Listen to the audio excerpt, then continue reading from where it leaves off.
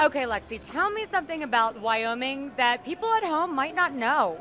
Wyoming was actually the very first state to allow women to vote, and that's something that we're very proud of in Wyoming. That's so cool. And it must be really amazing for you to be here as a woman, and people are going to vote for you next week. Yes.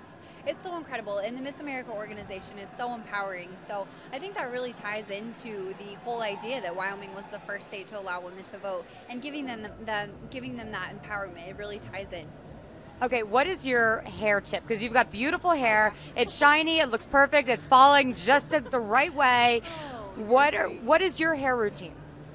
So in the morning when I wake up, I curl it and then I pin it, so that kind of sets it and gives it some volume. And I do my makeup, and so then after that, I take it all out, kind of comb through it, um, make sure to tease it, add a little bit of volume. But as far as keeping it healthy and shiny, I do take 10 leave-in conditioner, and I think that that really gives it a silky shine and finish. Where is Take 10? Is that something you can get at the drugstore?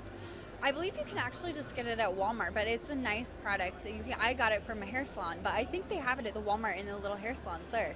Awesome. Yeah. So it's accessible to everybody. Absolutely. What's your talent? I composed a song on the piano. Very nice. I can't have you play the piano for me right now. Um, okay, what is that one fitness move that you will do when you don't have time to do a whole workout routine? I would probably do squats. I think that it's important to have like a tone to, to tone your legs and um, really be strong. And that's something that I've been trying to do, even in the hotel rooms here. You know, we haven't had time to work out yet, but if you can find time to just fit in little exercises, I would do squats. Um, especially when you have to get into a bathing suit in front of millions of people. Is that Oh not stressful? it can be stressful, but I think that ultimately you have to think about it. It's, it's a positive thing. It's finally showing off all of your hard work, and it's truly empowering for women. It's a way to make a statement and be confident. Awesome. Do me a favor, do a couple of squats with me. Yes. All right. All right, it's not All every right. day you do squats in high heels, All but uh, right, this yeah. might be like the 10th time I've done them tonight. So I'm getting my workout in right now. Perfect. Okay. Okay, sounds good. How many are we gonna do? No more than 10. No more than ten. We Yes. can do ten. All right. Yes, You ready? let's okay. go. Let's go. One, two, You go down really far. three. I try. Four. I feel like Jane Fonda, like a fitness instructor. Yes, you are like Jane Fonda right now. You're teaching me the moves. I'm going to have to start doing this in my hotel room because guess what? I've done nothing since I got here. It happens. I think that was ten. I'm not in a pageant. Woo! Oh. So I've been eating terribly and not exercising. It happens. What are you going to eat the second you're done with this competition? Cookie dough. I want dough. cookie dough so bad, and frozen Reese's peanut butter cups.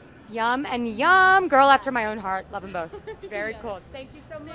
Thank you. I appreciate it. Before they compete for the crown, see what this year's Miss America contestant said behind the scenes. All this week, the Live Well Network catches each one revealing beauty tricks and personal secrets you won't see in the competition. We found some winners. Rebecca Spira hosts Miss America Secrets Revealed. All new every night beginning Monday, January 7th, only on the Live Well Network. Check your local listings or click Choose Your City to find the Live Well Network in your area.